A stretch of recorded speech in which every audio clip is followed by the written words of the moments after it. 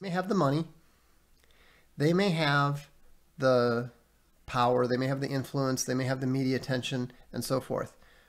We have got two things. Number one, we have the truth, the small t truth. We don't have to try to keep our story straight because our story is always straight. Number two, we have the capital T truth, which is Jesus Christ. And that's all we need. You know, their lies can't stand up to that.